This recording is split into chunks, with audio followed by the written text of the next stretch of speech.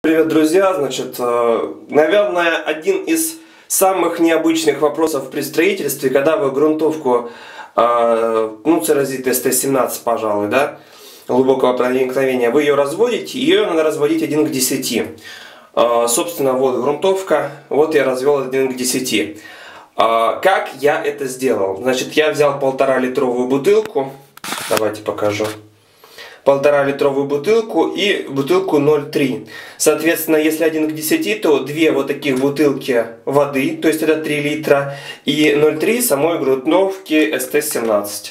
Вот и все, так вот получается 1 к 10. Я понимаю, что профессионалы, конечно, разводят там на глаз, то есть они знают, сколько лить. А, но я сколько лить не знал, и единственный хороший быстрый способ, без мерки, без всякой этой фигни, это вот так. То есть вы просто берете и просто делаете. На этом у меня все. Спасибо за внимание. До свидания.